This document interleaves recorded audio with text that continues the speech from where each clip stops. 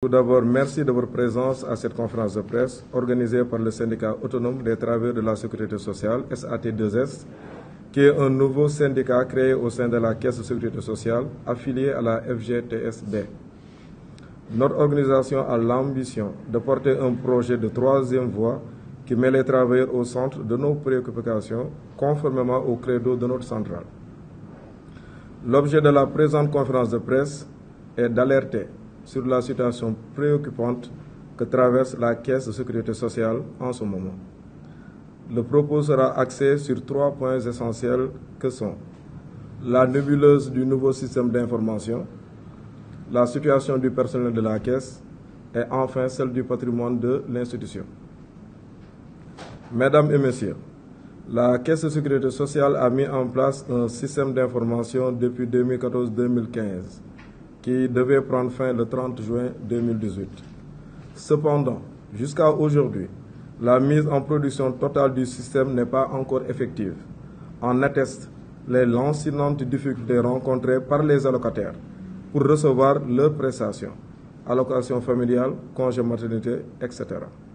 C'est pourquoi le SAT2S déplore les tracasseries et lenteurs rencontrées par les allocataires et exige la mise en place d'un système d'information performant.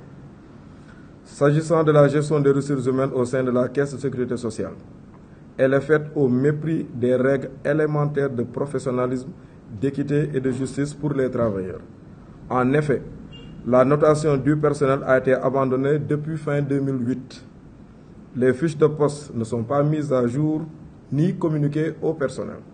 Il s'y ajoute l'arrêt injustifié de travail de sept braves agents, tous embauchés et dont le dossier est pendant devant la justice du travail. Là, je vais faire un arrêt sur ce point parce que c'est un point qui me tient à cœur. Euh, ils sont là présents dans la salle. Ce sont de jeunes agents très braves, très professionnels, qui ont fait leur temps à la caisse, leur CDD pendant toute leur durée légale et qui ont eu un CDI signé le 27 décembre 2022 par le directeur général Hassan Soumaré avec une date d'effet au 2 janvier 2023. À notre grande surprise, à la fin du mois de janvier 2023, ils ont été arrêtés. Jusque-là, ils courent derrière leur réintégration à la Caisse de sociale. Malgré la mise en demeure qui a, qui a été adressée à la Caisse le 21 septembre 2023 par l'inspection régionale du travail, leur demandant de réintégrer ces braves agents. La Caisse ne s'est pas encore exécutée et un PV de non-conciliation en date du 5 octobre 2023 a été adressé, a été effectué au niveau de l'institution du travail. Là, vraiment, je voulais m'arrêter dessus parce que c'est vraiment, un, vraiment un, un, dossier qui nous tient à cœur et qui montre encore le manque de professionnalisme au niveau de la Caisse de sécurité sociale.